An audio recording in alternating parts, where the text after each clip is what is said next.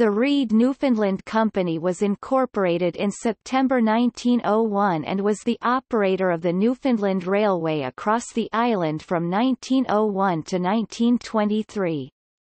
For a time it was the largest landowner in the country.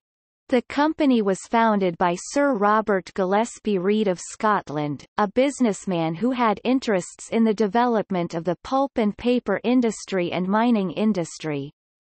The company was also the owner and operator of the coastal boat service, known as the Alphabet Fleet, the telegraph line and the electrical service in St. John's.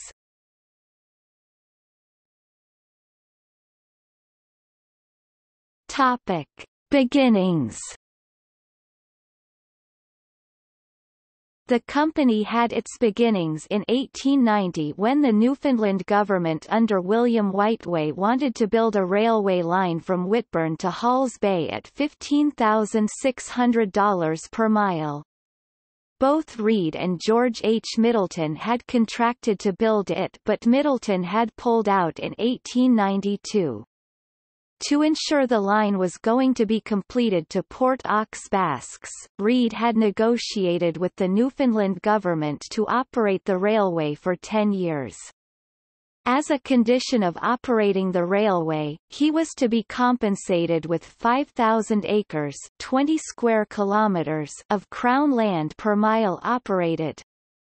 Whereas forested land was much more valuable to Reid, if the area along the line was barren or boggy, he was allowed to select other land of his choosing.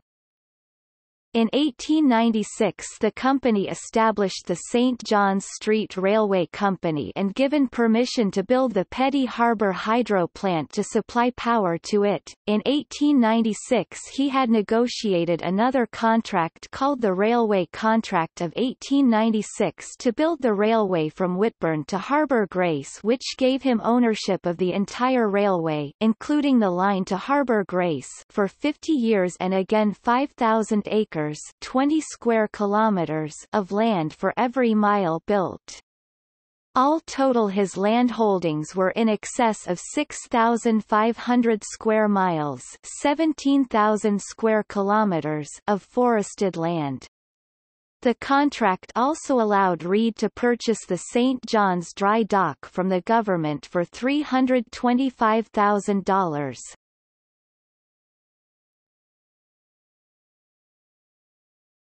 Topic. See also Newfoundland Railway Railway Coastal Museum Terra Transport